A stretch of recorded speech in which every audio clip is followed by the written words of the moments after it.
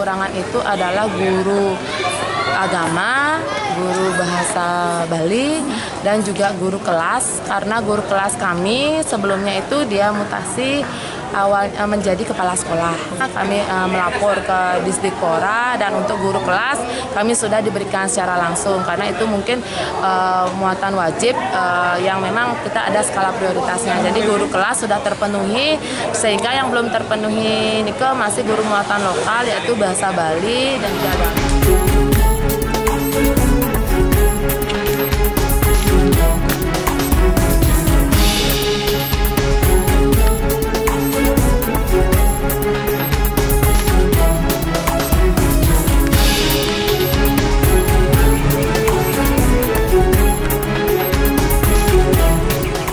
di kota Denpasar memang benar ada kekurangan.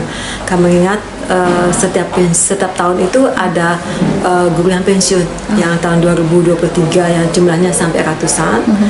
sehingga kami mengusahakan melalui dengan uh, pengadaan uh, tenaga kontrak P, uh, pegawai P3K, hmm. ya P3K.